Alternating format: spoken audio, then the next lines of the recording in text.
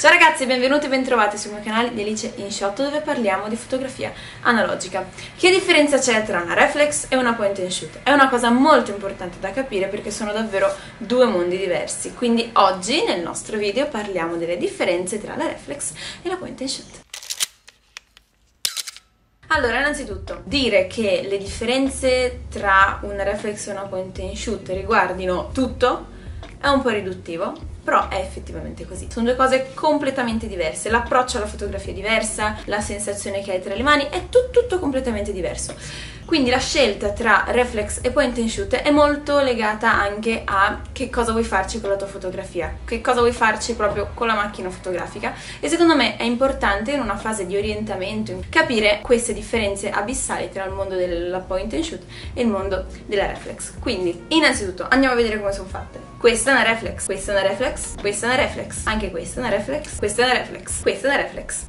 Questa è una point and shoot, questa è una point and shoot, questa è una point and shoot, anche questa una point and shoot. E a loro modo pure queste macchinine sono point and shoot. Vedete quindi già proprio a una prima a pelle sono proprio due robe molto molto diverse. Disclaimer noi oggi parleremo di reflex e point and shoot 35 mm che sono due tipi di macchine fotografiche. Le macchine fotografiche ce ne sono di tanti tipi. Reflex, point and shoot, biottiche quelle medio formato, ci sono le telemetro. Noi parliamo solo di reflex e point and shoot, ok? Se sapete già la differenza tra queste due cose e avete deciso di comprarvi una reflex ma non sapete bene da che parte cominciare e volete un po' una guida per orientarvi sulle funzionalità più importanti, vi rilascio è qua però, vero? Eh sì, eh sì.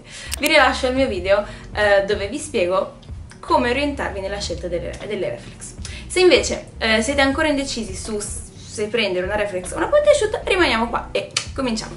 Innanzitutto la differenza più grande proprio da un punto di vista anatomico della macchina fotografica è che la reflex contiene uno specchio ed è per questo che si chiama reflex.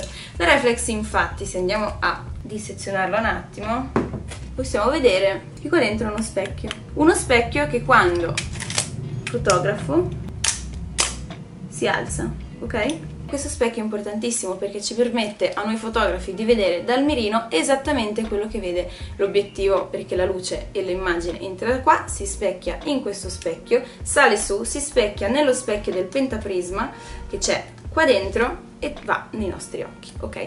Mentre invece le point and shoot non contengono uno specchio, quindi ciò che noi vediamo da qui, quello che vediamo da qui e non è quello che vede l'obiettivo, ok? Poi per carità la differenza tra queste e queste è davvero minima, però comunque una cosa molto importante da capire, già la meccanicità, il, il come sono fatte dentro molto, sono molto diverse. Il fatto poi che io con le reflex riesca a vedere da qua esattamente quello che vedo l'obiettivo mi permette la messa a fuoco. Questo è molto importante perché nelle reflex io guardo qua dentro e riesco a mettere a fuoco perché quello che vedo l'obiettivo è esattamente quello che vedo io. Importantissimo invece con le point and shoot non è così, tu con le point and shoot non puoi vedere che cosa stai mettendo a fuoco, ok?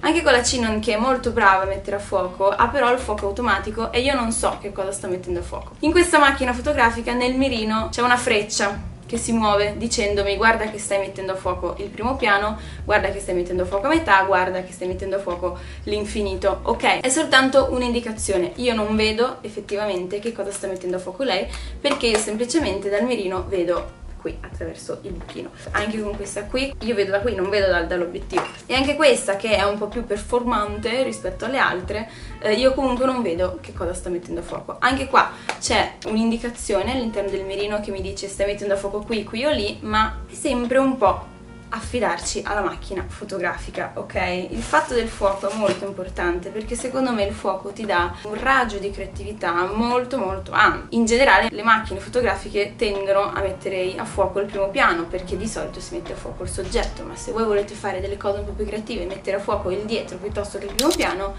è molto più difficile farlo con una uh, point and shoot piuttosto che con una reflex, ok? Poi parliamo del fatto, uh, le cose che puoi fare in manuale. Allora, disclaimer. Esistono reflex che sono completamente automatiche ma rimangono comunque reflex perché hanno lo specchio dentro, perché hanno un obiettivo che si può staccare, perché hanno magari la messa a fuoco manuale, ok? Ed esistono anche point and shoot che non sono del tutto automatiche ma puoi cambiare qualcosina, ok? In generale, però, nelle point and shoot ci sono molti più automatismi rispetto che alle reflex. In una reflex normale che non sia tutta automatizzata puoi cambiare il fuoco, puoi cambiare l'ISO, puoi cambiare i tempi di scatto e puoi cambiare pure l'apertura di diaframma. Sono quattro cose che vi permettono di fare tutto quello che volete. La reflex è la macchina fotografica che vi dà la possibilità di avere più creatività possibile, ok?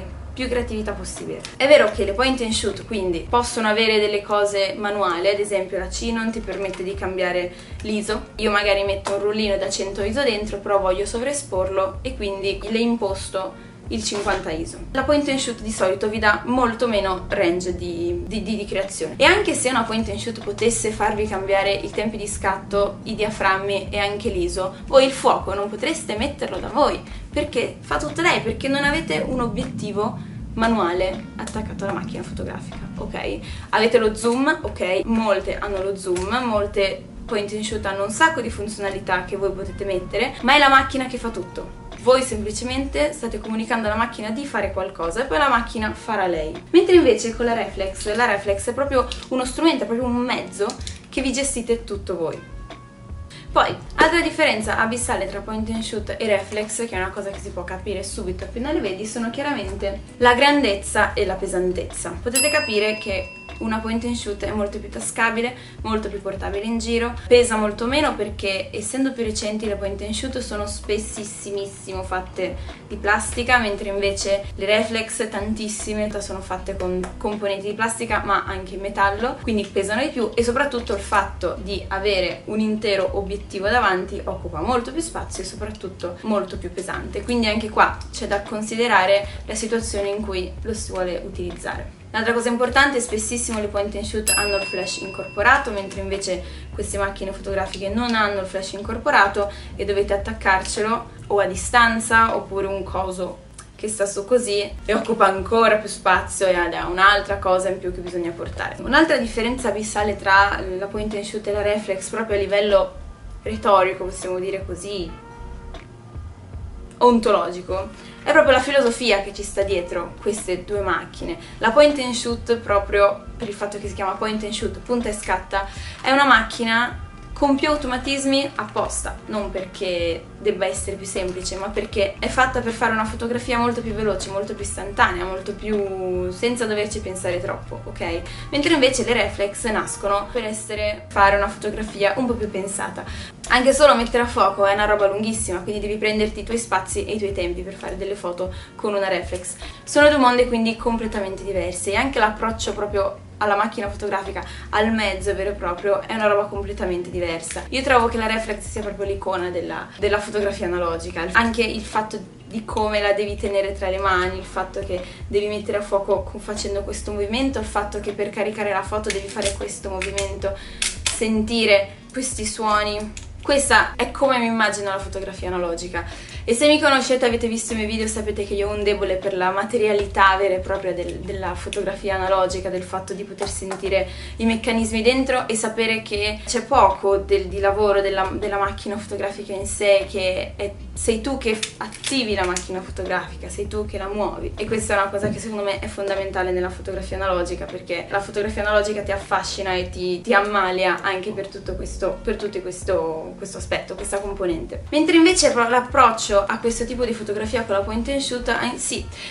forse io potrei definirlo un po' più asettico, lo potrei definire sì, un po' più, un po più distaccato, non c'è mm, quel contatto con la macchina fotografica che hai con la, con la, reflex. Uno perché sono più piccoline, sono meno ergonomiche. E poi perché appunto, perché molte cose, molte cose le fanno loro, tu semplicemente devi premere un bottone puntare e premere un bottone. Quindi io sono di parte. Sono due modi proprio di approccio alla fotografia proprio diversi.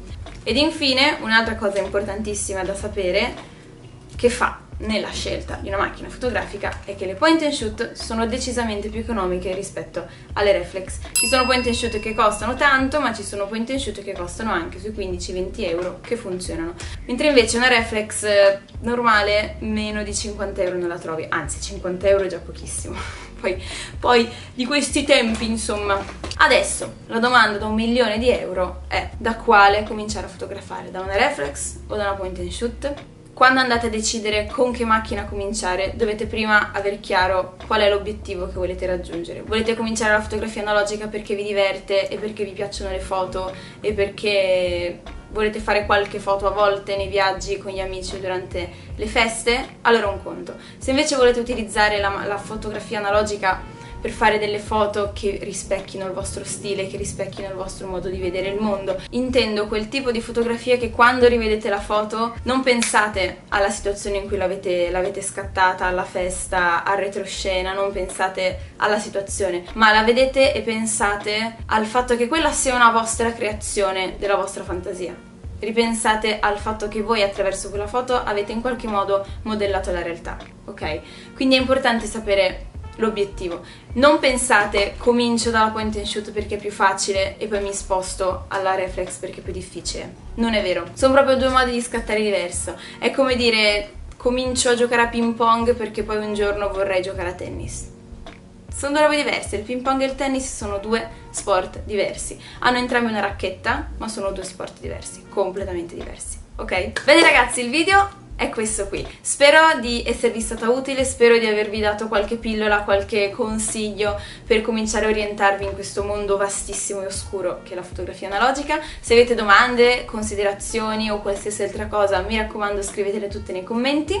Io vi invito a iscrivervi al canale se ancora non siete iscritti e se conoscete qualcuno che magari è interessato all'argomento, mandategli questo video e caldeggiatelo anche a lui o anche a lei di iscriversi al canale perché è la cosa più importante di tutte. Mettete un bel mi piace se vi è piaciuto il video e mm, fatemi sapere nei commenti con che macchina avete cominciato voi a fotografare oppure se volete cominciare a fotografare con quale macchina fotografica state pensando di cominciare. Con noi adesso ci salutiamo, grazie di aver visto questo video, noi ci vediamo settimana prossima con un nuovo video. Ciao!